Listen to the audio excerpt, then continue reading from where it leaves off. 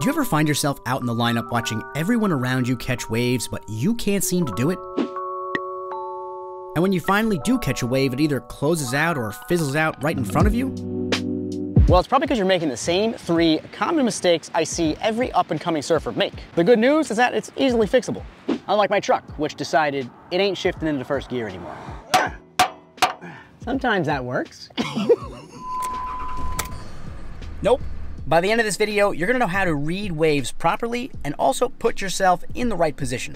Now this first mistake is a very boring one to discuss. I promise the next two are way more fun. But without covering spot choice, the next two solutions just aren't gonna work. When I was younger, I was so anxious to get out in the water that I would just paddle out at the first spot I pulled up to. This is what many new surfers do, and it's a mistake because it relies totally on luck. The waves you pick can make or break your surf session, so you have to check at least a few places and play what I call the imagination game at each location. To play this game, we have to look for two things. One, we want a wave that has a decently long face. The peak of this wave has already broken, but there's still a nice and long, unbroken face left. To contrast, this wave barely has any face left, therefore, it just dies out. Two, we want the breaking part of the wave to break slowly along that face. When you see a wave like that start to roll in, you have to imagine a surfer is on that wave very close to the breaking section. Ask yourself, can the surfer realistically get a good ride out of this wave? Was the wave too fast? Was it too slow? After the wave fizzles out, does it rebuild again and you could potentially get a second ride out of it?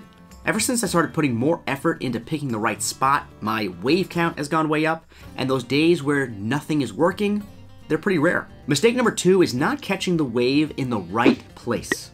If you try catching the wave too far out on the shoulder, you're probably not going to catch the wave at all. If you're catching the wave too deep, it's most likely going to close out in front of you. To put yourself in the perfect spot, you have to understand how waves work and also what to look for. When you're looking at a wave, one of the most important aspects is the peak. This is the point on the face of the wave that's the tallest and is going to break first. In a perfect world, we would try to take off at the peak and decide whether we're going to go right or left depending on what the shoulder looks like. However, waves are rarely perfect. In this scenario, I took off at the peak when in reality the spot to take off was between me and Gilad. I gained this knowledge by wiping out, and now I'll be looking to take off 15 yards or so to the right of the peak the rest of the session. Ideally, you should be taking off as close to the peak as you can while avoiding the closeout sections. The closer you are to the peak or the steeper part of the wave, the easier the wave is to catch.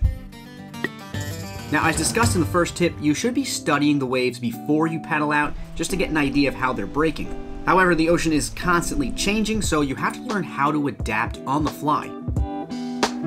This is why you always see the best surfers constantly paddling for position and rarely sitting still for extended periods. While we're sitting waiting for waves, especially at beach breaks, you have to constantly be scanning the ocean looking for bumps. Those bumps can give us an indication that a wave might be coming. Have you ever noticed those times where every surfer is just sitting and waiting for a wave, and then all of a sudden, everyone drops to their boards and starts paddling in unison? That's because they all saw a bump. If I see a bump that's about this wide and I'm looking to catch the wave about 15 yards to the right of the peak, you'll see me start to paddle towards that spot well before the wave ever gets to me. Sometimes I'll see a bump, I'll paddle towards it, and it'll turn out to be absolutely nothing, but that is surfing. Constantly scanning, paddling, getting it right sometimes, failing miserably sometimes. The more time you spend in the water focusing on these things, the better your positioning is going to get. And finally, mistake number three, and the most common among new surfers, is not paying attention to anchor points. The ocean is constantly moving, whether it's a current, a riptide, set waves rolling in. If we're sitting still in the ocean, we're gonna go wherever it takes us. We need to fight against this by using visual anchor points. If I know the best place to sit is right here, I'll pick a landmark on the beach to keep myself from drifting left or right. This might be a house or a sign or even a board you leave on the beach. My drifting in or out landmark will typically be a jetty or a pier. Now, as the ocean changes, these landmarks will also change, but you always have to be aware of where you are on both of these axes. After learning all these tips, your positioning will still never be absolutely perfect, and that's where the takeoff comes into play. Maybe you're a little far out on the shoulder or you're a little too deep. utilizing the right takeoff method can fix a slightly poor position, which is why you gotta watch this video next where I show you my top three favorite takeoff methods.